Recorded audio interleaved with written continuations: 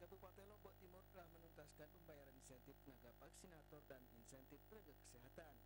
Demikian diungkapkan Kepala Badan Pengelolaan Keuangan dan Aset Daerah BPKAD Lombok Timur Muhammad Hasni.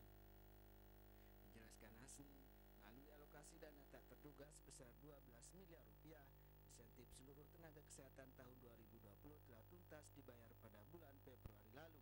Sementara untuk tahun 2021, nakes yang bertugas di RSUD Selong dan RSUD Lombok Timur Labuan Haji telah dibayar sampai bulan Juni. Yang tertunda yaitu insentif nakes yang bertugas di puskesmas karena terkendala data usulan jumlah pembayaran yang belum masuk dari puskesmas.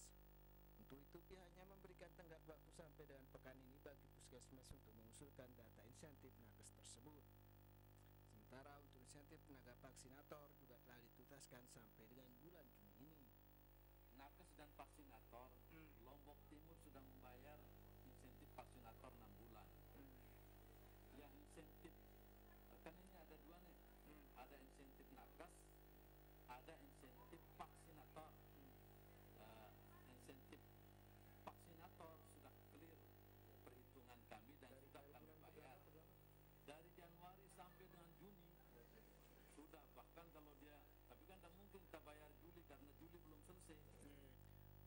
Hasni mengatakan dibanding dan kabupaten kota lain, Lombok Timur merupakan kabupaten yang cukup cepat dalam menuntaskan persoalan insentif nakes dan tenaga vaksinator. Karena sumber anggaran untuk membayar insentif tersebut bersumber dari dana tak terduga yang dianggarkan sebesar 12 miliar rupiah.